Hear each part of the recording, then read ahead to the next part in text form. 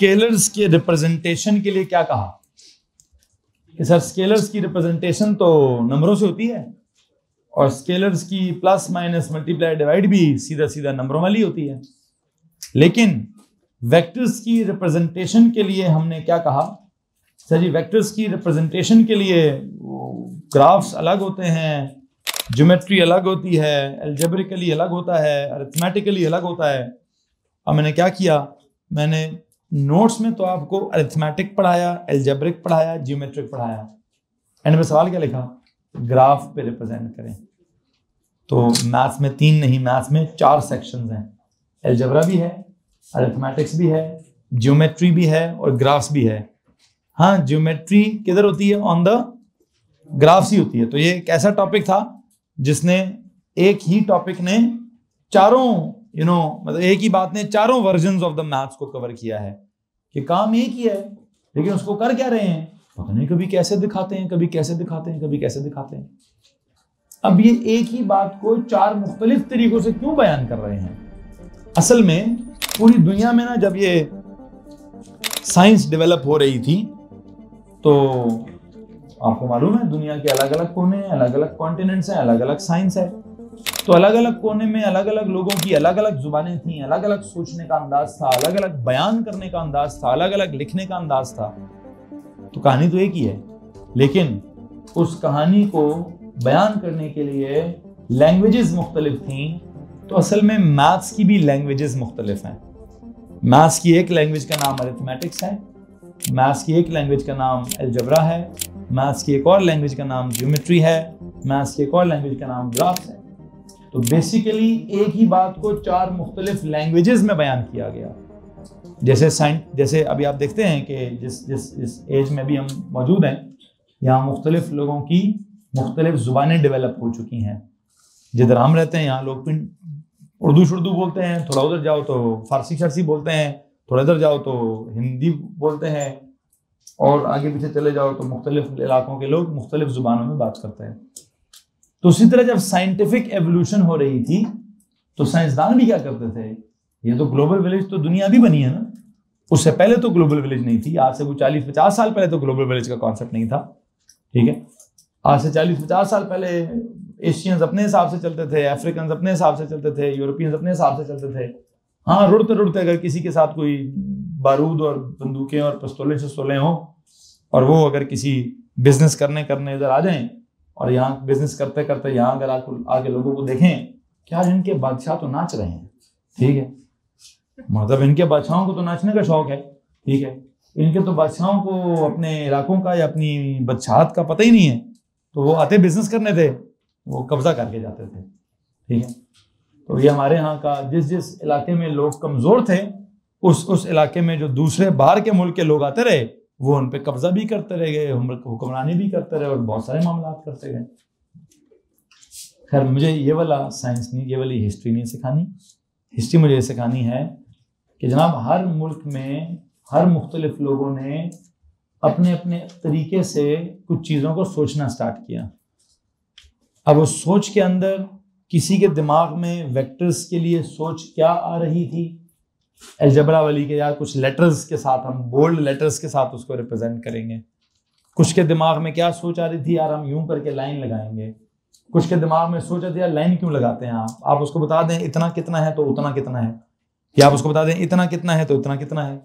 वो एक्स और Y component बता दें उसका, ठीक है? कुछ मतलब यू नो आई थिंक जो मैंने कल समझाना था, मैं समझा चुका हूँ। अभी मैं सिर्फ़ ये बताना चाहता हूँ कि बात एक ही है उसको बयान करने के अंदाज तीन मुख्तलिफ़ हैं। उसकी वजह क्या है कि वो जो तीन मुख्तलिफ़ अंदाज हैं, वो तीन मुख्तलिफ़ ज़ुबानें हैं। किसकी? मैथ्स की ज़ुबानें हैं वो। अर्थमेटिक्स मैथ्स की ज़ुबान है एल्जबरा भी मैथ्स की ज़ुबान है ज्योमेट्री या ग्राफ भी मैथ्स की ज़ुबान है। उन तीनों में आपने फ़र्क देखा होगा, सर को ख़ास फ़र्क है तो नहीं। इधर उसी जो आप ड्राइंग करते हैं, उसी का एक्स कॉम्पोनेंट उसी का वाई कॉम्पोनेंट ऊपर नीचे लिख दें। तो कॉलम वेक्टर बन जाता है। उसी की जो लेंथ आपने ड्रॉ की है एज पर स्केल की है और अगर आप यहाँ ट्रिग्नोमेट्री लगा दें X square plus Y square का होल एंड रूट तो वहाँ से भी निकल आएगी।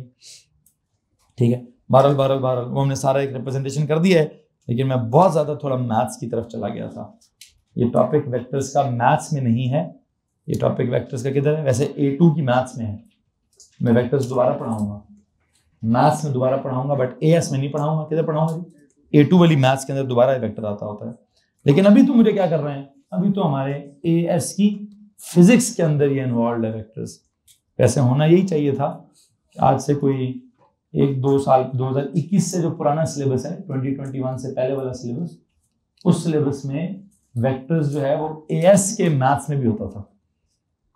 तो उन्होंने भी क्या किया? एएस के मैथ्स में से वेक्टर्स निकाल दिया सारा वेक्टर्स उठाकर ए टू के मैथ्स में डाल दिया हालाँकि ए टू के बीच में से सारा वेक्टर निकाल कर ए एस में डालना चाहिए था। लेकिन वो, उनकी समझ नहीं आती है, कभी कोई अच्छे काम करते हैं, कभी कोई रैंडमली हर दो तीन साल बाद वो सिलेबस चेंज करते हैं, उसमें क्या इतना बड़ा फ़र्क नहीं आता छोटी छोटी कुछ चीज़ें इधर से उधर उधर से उधर कर देते हैं। मैथ्स को तब्दील उन्होंने पिछले बीस सालों से नहीं किए। मैं जब से पढ़ा रहा हूँ मैथ्स तब्दील नहीं हुई फिजिक्स तब्दील नहीं हुई। सिर्फ़ क्या हुआ है मैक्सिमम ए एस में से निकाल के ए टू में कर दो ए टू में से निकाल कर ए एस में कर दो। या कोई पाँच परसेंट टॉपिक्स ऐसे हैं जिनको कभी किसी ने ऐड कर दिया तो कभी किसी सिलेबस में सब्ट्रैक्ट हो गई वो बातें। बहरहाल, उस दिन मुझसे कोई पूछ रहा भी रहा था कि, सर, कौन से वाले टॉपिक्स लेने हैं? कौन पूछ रहा था एनी वन रेहान किधर है? अयान किधर है? आप पूछ रहे थे। क्या पूछ रहे थे भाई? हाँ? वो कहते हैं, सर जी, कौन सा सिलेबस कब चेंज हुआ है? तो कौन से मैंने पास पेपर्स लेने हैं? तो कौन से मैंने करने हैं? तो मैंने आपको क्या जवाब दिया? कि बेटा आप सारे ही लेंगे, ठीक है? वो जो सिलेबस में तब्दीली आई है, वो एक आधे छोटे से टॉपिक की आई होगी। मिसाल के तौर पर आप 2020 वाला पेपर कर रहे हैं। तो उस 2020 के पेपर में अगर सिर्फ़ क्या नहीं करेंगे आप? मैथ्स के पेपर में अगर वेक्टर्स आ जाता तो सवाल छोड़ देंगे हम। बाकी पूरा पेपर तो सिलेबस में है ना? वो तो पूरे का पूरा करेंगे, ठीक है? तो पास पेपर्स अगर आपने लेने हैं तो इवन आप उन्नीस सौ अस्सी वाले पास पेपर्स भी ले लीजिए। मुझे इससे प्रॉब्लम नहीं है, ठीक है? प्रैक्टिस जहाँ से मर्ज़ी कीजिए, ठीक है ना? अपने अपने टॉपिक की कीजिए। जिस टॉपिक के बारे में अभी तो वैसे ईयरलीज का तो की नहीं बनता अभी तो ईयरली पास पेपर्स का किसी को सोचने की ज़रूरत ही नहीं है। अभी तो हमें क्या करना है? ईयरली पास पेपर्स तो तब होंगे जब मेरा syllabus close to the end लगेगा। तब आप ईयरली पास पेपर्स लेंगे। फेबर में कहीं ना कहीं हम लेंगे इंशाल्लाह। हाँ अभी आप टॉपिकल्स करें। टॉपिकल्स का मतलब क्या है? कौन सा टॉपिक चल रहा है? वेक्टर्स तो वो तो वेक्टर्स नहीं मतलब अगर फिजिक्स में वेक्टर्स है तो वो सारा कुछ करें। उसमें ये नहीं होगा कि पिछले साल में कैसा वेक्टर था तो इस साल में कैसा वेक्टर था वेक्टर वेक्टर है। फिजिक्स के अंदर जो सवाल आ रहे हैं, सारे के सारे करेंगे, ठीक? सो टॉपिकल्स अगर आपको लेना चाहते हैं, मैं तो क्या करूँगा? मेरा आपने तरीकाकार देख लिया है। मेरा जब जब जो जो टॉपिक कंप्लीट होगा, उस उस टॉपिक के हवाले से मैंने कितनी कितनी क्वेश्चंस आपको देने हैं, वो मैं आपके नोट्स का ही हिस्सा बनाता जा रहा हूँ, ठीक है? जितने भी रिसोर्स के तौर पर मैं आपको वर्कशीट्स दे रहा हूँ, उसको आप यूँ करिए, या तो इसी के साथ स्टेपल किया करें, या क्या करें? अलग से कम अज कम एक फोल्डर बना लें कि सर जी, वो हमारे नोट्स का ही हिस्सा है। मैंने वैसे क्या कहा था? क्या कर लें? इधर ही इसी कॉपी के साथ अगर आप स्टेपल करेंगे तो आपके नोट्स का ही हिस्सा बनती जाएँगी, वो वर्कशीट्स इवन अपनी टेस्ट शीट्स को भी क्या करें? अपनी टेस्ट शीट्स को भी अपनी कॉपी के साथ स्टेपल किया करें कि सर, ये भी हमारी क्या है? ये भी हमारी नोट्स का हिस्सा है। अगर आप इनके साथ स्टेपल नहीं करते तो एक फोल्डर से ले लें, उसमें बीच में संभालते जाए उन सारी चीज़ों को घुमाना नहीं है भाई, ठीक है? क्योंकि उन तमाम सवालों के ऊपर मैं वर्किंग्स करवा रहा हूँ। आपसे भी वर्किंग्स करवा रहा हूँ, खुद भी वर्किंग्स कर रहा हूँ। तो जब मैंने कोई वर्किंग की है तो मेरी वर्किंग आपके नोट्स का हिस्सा है। उसको आप दोबारा प्रिपेयर करेंगे जब भी कभी किसी टेस्ट की तैयारी करनी है या किसी मॉक की तैयारी करनी है या इवन सी की तैयारी करनी है। आप नोट्स को भी प्रिपेयर करेंगे, उन टॉपिकल्स को भी प्रिपेयर करेंगे। और जल्दी पास पेपर्स के थ्रू एंड पे हम अपनी स्पीड एडजस्ट किया करेंगे।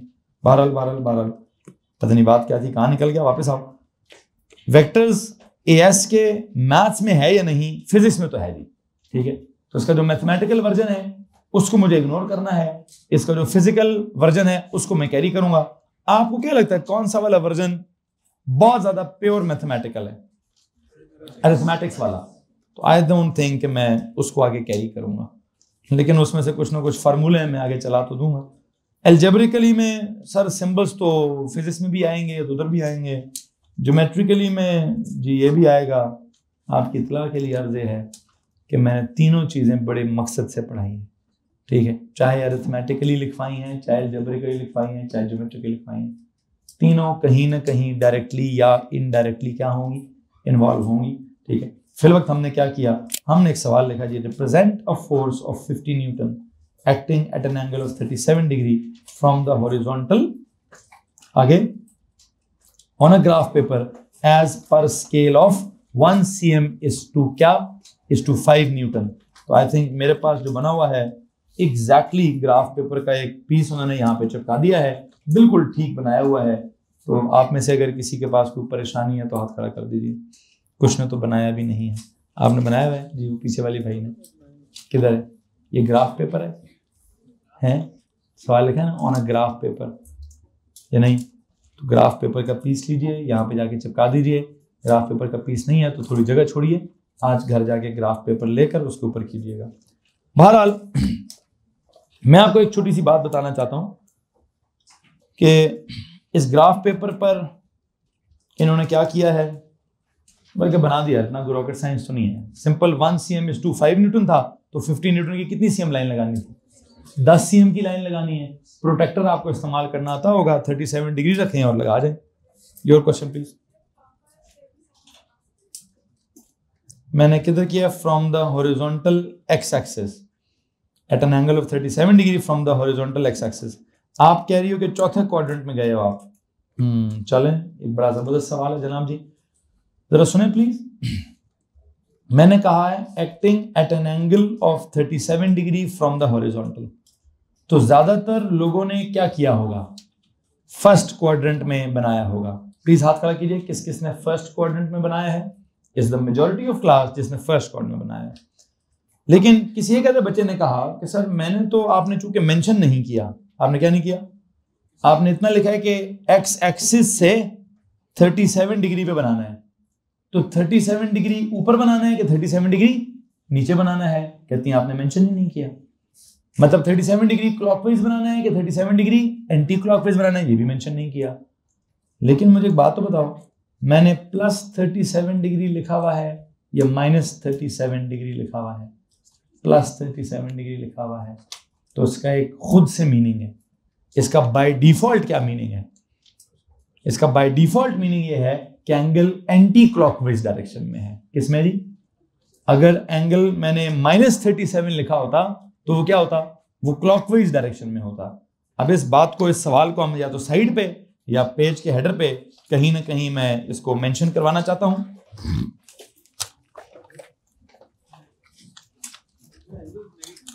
जी, होते हैं। होते हैं। यही तो लिखवा रहा हूँ। प्लीज़ पेज के हेडर पे जाएँ। पेज के हेडर पे एक नोट लिखें। पॉजिटिव एंगल इज़ इज़ क्या? Is always anti clockwise from X axis page के हेडर पे एक स्पेशल नोट है लिखा लिखेंगे। पॉजिटिव एंगल इज़ कैसा है positive angle positive angle is always page के हेडर पे टॉप पे लिखेंगे बेटा जी। बेटा जी टॉप पे एक नोट लिखेंगे। तो, तो नज़र ही नहीं आएगा ऊपर पूरी लाइन लिखें बड़ी बड़ी। क्या लिखें जी? Positive angle is always anti clockwise from is always anti clockwise from from X axis is always anti-clockwise from x-axis whereas negative angle whereas negative angle is always clockwise is always clockwise from x-axis is always clockwise from x-axis इसके लिए अगर आप कोई drawing बनाना चाहते हो तो वो drawing क्या है वो सुन लो जनाब ये आपका एक्स एक्सिस है। अगर आप यूँ जाते हो तो ये क्या है? ये कौन सी डायरेक्शन है? एंटी क्लॉकवाइज तो ये क्या है? प्लस थीटा है। कौन है ये? प्लस थीटा है। और अगर आप कहते हो कि क्या करना है सर जी? ये क्या है? दिस इज़ क्लॉकवाइज तो ये क्या है? माइनस थीटा है। तो एंटी क्लॉकवाइज हमेशा क्या होता है? पॉजिटिव थीटा और क्लॉकवाइज क्या होता है? नेगेटिव थीटा तो अब उन्होंने कहा, सर जी, ऊपर बनाना था कि नीचे बनाना था? बताया मैंने क्या एंगल लिखा हुआ है? थर्टी सेवन डिग्री लिखा हुआ है तो पॉजिटिव है ना? तो पॉजिटिव वाला क्या होता है? ऊपर की तरफ़ होता है एंटी क्लॉकवाइज होता है। आई थिंक आपने कभी ना कभी ओ लेवल में ना एक टॉपिक होता है मोमेंट्स वाला। उसमें आप कौन से मोमेंट को पॉजिटिव मोमेंट कहते हैं? आई थिंक कहीं ना कहीं पढ़ा होगा आपने कि anti clockwise direction is positive and clockwise direction is मुझे लगता है कि मैंने कभी ओ लेवल में इस बात को पढ़ाया ना तो मैं ऐसे समझाता हूँ। बच्चे कहते हैं, सर जी प्लस माइनस तो एक्सेस में होता है। Forward axis is positive backward axis is negative upward axis is positive downward axis is negative बाहर वाला axis is positive out of the page वाला axis is positive into the page वाला axis is तो कहते हैं, sir जी, ये जो clockwise anti clockwise में एक टाइम का एक्सेस भी होता है। क्या होता है? एक टाइम एक्सिस भी है। एक एक्स एक्सिस है, एक वाई एक्सिस है, एक जी एक्सिस है, एक और एक्सिस भी है। लेकिन हम वो ड्रॉ श्रॉ नहीं करते। हैं कौन सा axis time axis time axis नहीं होता टाइम को अक्सर साइंसदान डायमेंशन कहते हैं। अब हम तो dimension X dimension Y dimension Z dimension कहते हैं। वो कहते हैं टाइम भी एक डायमेंशन होती है। अब टाइम भी अगर कोई डायमेंशन है तो टाइम भी कोई एक्सेस होगा। टाइम नॉर्मली किधर जा रहे है? यार, इसको कोई बताओ, घर जा भाई। ठीक है। जनाब साहब, क्या हो रहा है? टाइम हमारी जो सुई है, कैसे चल रही है? क्लॉकवाइज ये जो क्लॉकवाइज चल रही है, ये अपनी पैदाइश की तरफ़ ज़िंदगी जा रही है। दुनिया या यूनिवर्स अपनी पैदाइश की तरफ़ जा रही है कि मौत की तरफ़ जा रही है? मौत की तरफ़ जा रही है। तो जब अपनी मौत की तरफ़ जा रही है तो हम इस डायमेंशन को क्या कहते हैं? नेगेटिव डायमेंशन कहते हैं। क्या कहेंगे? शुक्र है शुक्र है जनाब साहब, क्या बात हो रही है? दोबारा सुनिए। ये जो क्लॉकवाइज एंटी क्लॉकवाइज का असल मतलब तो घड़ी के साथ है ना? सर, घड़ी यूँ घूमती है तो क्या है? ये पुत्र, मेरी बात तो पूरी होने देना पुत्र जी। तो जब कोई नॉवल याद आ गया होगा इजी हो थोड़ा सा। सबर सबर। मेरे मेरी अपनी बात मुकम्मल होने देना जी। अल्लाह का नाम लो यार। पैदाइश, ज़िंदगी, मौत बड़ा बुनियादी फलसफा है। मैं उस बुनियादी फलसफे से बात करूँगा। असल में मैं आपको बताना चाहता हूँ कि घड़ी की मिसाल क्या है। लफ्ज क्लॉकवाइज है। क्लॉक से निकला है ना। क्लॉक में क्या चीज़ क्लॉकवाइज है? टाइम क्लॉकवाइज है। अब जब टाइम क्लॉकवाइज है तो टाइम आगे जा रहा है। जब टाइम आगे जा रहा है तो जब टाइम आगे जाता है तो हम ना वो टाइम किस एक्सिस में जा रहे हैं? टाइम इख्तिताम की तरफ़ जा रहा है। किस जा रहे है? टाइम अपने स्टार्ट पे नहीं जा रहा टाइम अपने एंड की तरफ़ जा रहा है। तो इसको साइंटिफिक फिलोसफर्स क्या कहते हैं? टाइम खत्म हो रहा है। टाइम क्या हो रहा है? दुनिया का टाइम खत्म हो रहा है। वो अपनी उम्र के बड़े होने से खुश नहीं होते। साइंसदान अपनी उम्र के बड़े होने से परेशान होते हैं। वो बर्थडे को सेलिब्रेट नहीं करते। वो कहते हैं, अगर मेरी थर्टी फोर्थ बर्थडे चल रही है तो इसका मतलब क्या पता, अगर मेरी पचास साल उम्र है तो मेरे तो सोलह साल रह गए हैं। ठीक है? वो तो कहते नहीं, चौंतीस साल उम्र थोड़ी है, मेरे तो सोलह रह गए हैं। जी। ज़िंदगी से? अरे अरे अरे अरे अरे, इतनी बड़ी उर्दू। अरे वाह। वो कहते हैं, सर जी, इसको उर्दू में कहते हैं, साल गिरा। साल गिरा मतलब साल गिर गया है। एक और साल गिर गया ज़िंदगी से। अरे वाह, ये तो उर्दू है भाई। कमाल की उर्दू है। काले बैठे हमारी क्लास के अंदर ठीक एक साल गिर गया है। तो साल गिरा है तो साल गिरने का मतलब क्या है? हमें लगता है हम उम्र में बड़े हो रहे हैं। हाँ हमारी जो उम्र आगाज़ से थी वो बड़ी हो रही है। हम अपनी मौत के करीब जा रहे हैं। तो जित मौत के करीब जाना कोई खुशी का फलसफा नहीं है। अगर तो जन्नत में जाना हो तो एक बहुत बड़ी खुशी का फलसफा है। हाँ अगर बंदे की जन्नत ना लिखी हो तो इससे बड़ी दुनिया में कोई बुरा फिनोमिना नहीं हो सकता। अगर बंदे ने दो जाना है, और अगर उसकी उम्र आगे जा रही है तो खैर, बार अल्लाह ताला माफ़ करे हम सबको। मैं इस टॉपिक पे नहीं जाना चाहता। बुनियादी बात क्या बता रहा था? टाइम की डायमेंशन सिखा रहा हूँ। और टाइम की डायमेंशन में साइंसदान क्या कहते हैं? कि उसका एक्सेस ऐसा है कि जो घड़ी टिक टिक टिक टिक टिक क्लॉकवाइज कर रही है तो जब वो टाइम आगे जा रहा है, कहते हैं टाइम के आगे जाने का मतलब पॉजिटिव नहीं है। टाइम के आगे जाने का मतलब टाइम खत्म हो रहा है टाइम कम हो रहा है। तो खत्म होना, कम होना कम होना क्या होता है? पॉजिटिव नेगेटिव नेगेटिव कहते हैं जी, ये वाली डायरेक्शन नेगेटिव है। ठीक? है टाइम ज़्यादा कब होगा? अगर सुइयाँ उल्टी घूमना स्टार्ट हो जाए, इंसान मौत की बजाय अपनी पैदाइश की तरफ़ जाना स्टार्ट हो जाए, इंसान की बजाय पूरी की पूरी यूनिवर्स जो है वो पीछे जाना स्टार्ट हो जाए तो पूरी यूनिवर्स को रिलैक्स कर जाना चाहिए। क्यों? वो तो क्यामत से तो दूर जा रहे हैं। ठीक है जी? अपनी पैदाइश पे जाएगा। खैर, मुझे फलसफा का उस्ताद नहीं बनना। साइंस का उस्ताद ही रहता हूँ। सिंपल सी बात है भाई। क्लॉकवाइज क्या है? नेगेटिव है। एंटी क्लॉकवाइज क्या है? पॉजिटिव है। मैंने जब बहुत बचपन में किसी से ये पॉजिटिव नेगेटिव पूछा तो मेरे टीचर्स ने बहुत सारी मिसालें दी कि दुनिया में जितने फिनोमेना नेगेटिव फिनोमेना हैं, जो जो अपनी मौत की तरफ़ जा रहे हैं, वो सब क्या है? वो सब क्लॉकवाइज है। ज़मीन अपनी मौत की तरफ़ जा रही है। तो अराउंड द सूरज जब घूमती है तो क्लॉकवाइज घूमती है। ठीक है? इलेक्ट्रॉन अपनी मौत की तरफ़ जा रहा है तो अराउंड द न्यूक्लियस जब घूमता है तो किस, कैसे घूमता है? क्लॉकवाइज घूमता है। ठीक है? हाँ जी? है जी? स्पिन की बात नहीं हो रही रिवॉल्व की बात हो रही है। रेवोल्यूशन सारों की कैसी है? वो प्लैनेट्स की रेवोल्यूशन भी क्लॉकवाइज है इलेक्ट्रॉन की जो जनरल रेवोल्यूशन है वो भी क्लॉकवाइज है। लेकिन पूरी दुनिया में एक अमल ऐसा है जो एंटी क्लॉकवाइज किया जाता है और बड़ा पॉजिटिव अमल है। तवाफ जो है, जब आप हज उम्र के लिए जाते हैं तो वहाँ जब आप तवाफ करते हैं तो वाहिद फिनोमेना है जो कैसा होता है। दुनिया का सबसे पॉजिटिव फिनोमेना है, ठीक है? बहुत ज़्यादा स्पिरिचुअल उसके अंदर कोई नेकी है और बहुत बड़ा अमल है और बहुत बड़ा फिनोमेना है। दैट इज़ वन थिंग जो कैसे घूमती है। वहाँ आप एंटी क्लॉक को इस्तवाफ करते हैं। तो असल में पॉजिटिव काम करने जाते हैं ना। तो इसलिए वो पॉजिटिव अल्लाह ने रखा है। बाकी दुनिया की और वो चीज़ क्या है, उसके बारे में अक्सर रवायत में आता है कि अगर कोई हज करके वापस आ गया तो उसकी मिसाल कैसे होती है?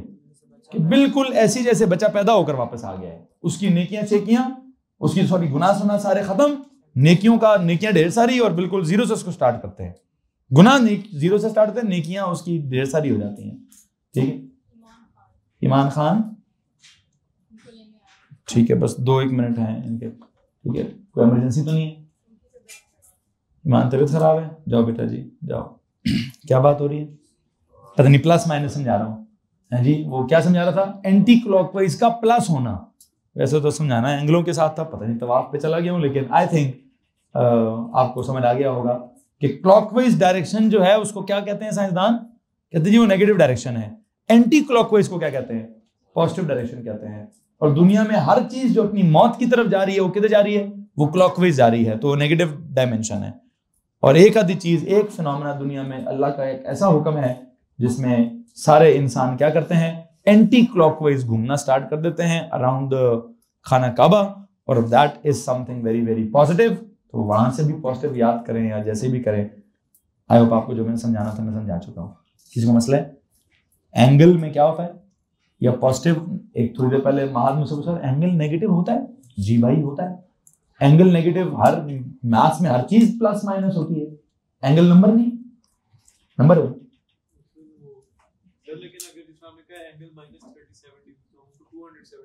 हाँ ये काम भी हो सकता है। कहते हैं, सर जी, यहाँ से अगर आपने माइनस थर्टी सेवन लेना तो वहाँ से घूम के क्या लिख दे?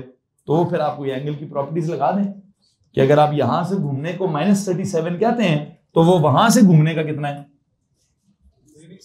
हाँ। तो मैं एक्स ही घूम रहा हूँ ना भाई। अगर ये माइनस थर्टी सेवन है यहाँ से माइनस थर्टी सेवन है तो वहाँ से कितना है?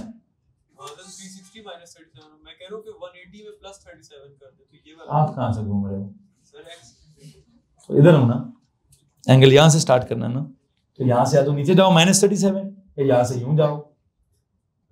ठीक है मतलब एंगल स्टार्ट कहाँ से करना है हमेशा? स्टार्ट तो मैंने हमेशा एक्स एक्सिस से करना है ना। अब यहाँ मैं एक्स एक्सिस से ऊपर से घूम कर आऊँ या नीचे से घूम कर आऊँ? ठीक है। ऊपर से घूम कर आओगे तो ये कौन है? एंड इसको क्या बोले प्लस क्या? प्लस टू फोर्टी कितना? Plus two plus three twenty three तो ये क्लॉकवाइज सॉरी क्या है एंटी क्लॉकवाइज है, ये पॉजिटिव है। ये क्या है? ये क्लॉकवाइज है, ये नेगेटिव है। किसी को मसला इस बात से? Anyone I think you must know कि एंगल जो है, वो भी एक उसकी भी कोई वैल्यू होती है वैल्यू में उसकी पॉजिटिव वैल्यू भी हो सकती है और उसकी नेगेटिव वैल्यू भी हो सकती है। लेकिन बहुत मैथमेटिकल बात थी, मैंने उठा के किधर लिखी है? पेज के हेडर पर जाके लिखी है। बहरहाल आई होप आपको समझ आ गया होगा कि मैंने किधर बनाना है? एंटी क्लॉकवाइज बनाना है, जो कि फ़र्स्ट क्वाड्रेंट में आता है, ठीक है? बहरहाल, इसको क्या किया गया? आई थिंक आई थिंक इसकी जब आपने ड्राइंग बनाई है तो ये आपके पास ग्राफ के ऊपर एक्स एक्सेस होगा, ये आपका ग्राफ के ऊपर वाई एक्सेस होगा, यहाँ पे कहीं आपका ग्राफ पे ओ फॉर ओरिजिन होगा, और आपने क्या किया होगा? यहाँ से कितना एंगल लिया है? प्रोटेक्टर के साथ। 37 डिग्री यहाँ से नोट किया होगा। या, यहाँ पे कहीं पॉइंट लगा दिया होगा। और लाइन कितनी लंबी लगाई है? लाइन की लेंथ कितनी लगानी थी? स्केल था क्या? One C M is to five newton तो पचास न्यूटन की लगानी थी कितनी होगी? टेन सेंटीमीटर जितनी लंबी लाइन लगाई होगी। और उस लाइन के एंड पर यहाँ पर एक एरो लगा दिया होगा और इसको क्या बोला होगा? Sir ji this is 50 newton की क्या? फोर्स फोर्स का सिंबल क्या है? कैपिटल एफ़ जी भाई।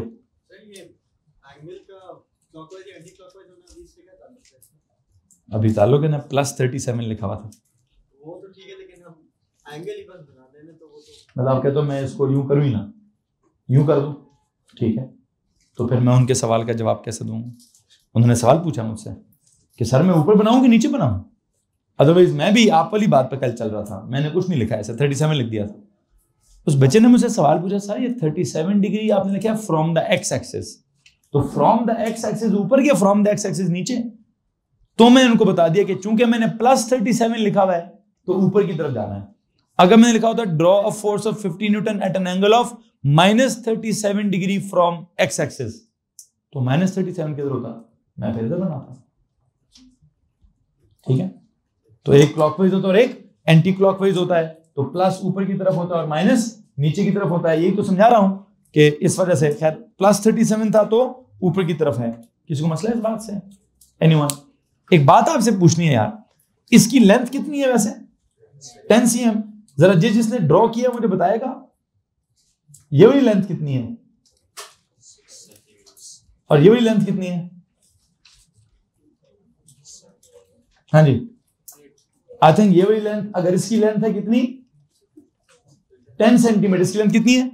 एट सेंटीमीटर और इसकी कितनी है? सिक्स सेंटीमीटर खैर, इस एट सेंटीमीटर का मैंने क्या करना है और उस सिक्स सेंटीमीटर का मैंने क्या करना है एक बात तो बताएँ। ये टेन सेंटीमीटर फिफ्टी न्यूटन को रिप्रेजेंट करता है। तो ये एट सेंटीमीटर किसको रिप्रेजेंट कर रहे हैं? फोर्टी न्यूटन को। और ये सिक्स सेंटीमीटर किसको रिप्रेजेंट कर रहे हैं? ये जो फोर्स है, अगर मैंने इसका कॉलम वेक्टर पूछना है, क्या पूछना जी? अगर मैंने इस फोर्स का कॉलम वेक्टर पूछना है तो प्लीज़ इसका कॉलम वेक्टर क्या होगा? हाँ? फोर्टी या फोर्टी थर्टी या फिर क्या? ऑन सम स्केल अगर मैं स्केल पे शिफ्ट कर लूँ तो क्या होगा? एट और सिक्स किसी को मसला इस बात से?